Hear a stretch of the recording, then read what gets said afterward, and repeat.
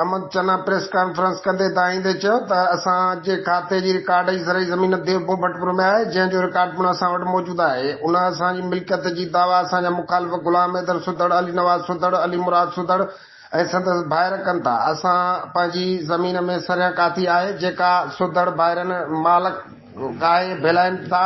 ऐं बीठल वण पिणु कटराइनि पिया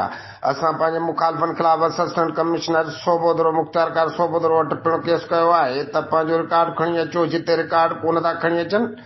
ऐं जहिड़ो करणु चाहिनि पिया असां पुरमन ऐं शरीफ़ गोठाणा आहियूं कानून हथ में कोन था चाहियूं ज़मीन असां ख़रीद कई हुई जंहिंजी एग्रीमेंट ऐं गवाह मौजूद आहिनि ऐं अहिड़ो रवेन्यू रिकार्ड पिणु असांजे नाले ते आहे असां हिन वक़्त चऊं था त मुखालिफ़ रेवेन्यू अमलदारनि या नेक मर्दनि चङनि वटि ज़मीन जो रिकॉर्ड खणी अचनि जंहिंजो बि रिकॉर्ड हुजे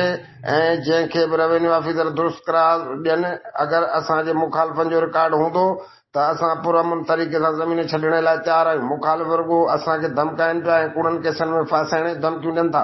असां I G Sindh D I G Sukkur S S P Khairpur ऐं वास्तेदार आला अख़्तरनि खां मुतालबो था करियूं त असांजी कब्ज़े जी ज़मीन ते कोशिश कंदड़नि ख़िलाफ़ कार्रवाई करे तहफ़ुज़ इंसाफ़ फराहम कयो वञे